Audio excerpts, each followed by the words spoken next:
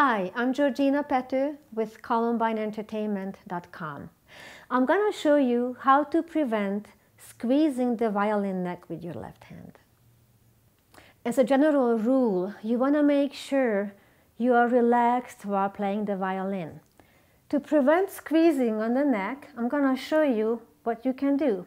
Bring up your left hand and see this little V-shaped hole. For the little kids, I just mention it as a mouse hole. You want to make sure that hole stays open. Don't squeeze like that. That's a very bad no-no thing. So keep this open.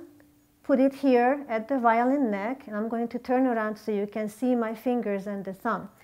Put your fingers down on the strings gently. And now let the thumb go and see if you could just feel your hand hanging down your thumbs out here and see if you could start playing a few notes just using your fingers without the thumb being there.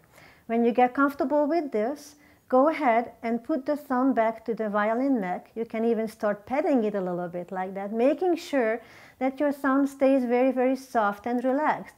And that's the best way to make sure you keep soft and relaxed and not squeezing.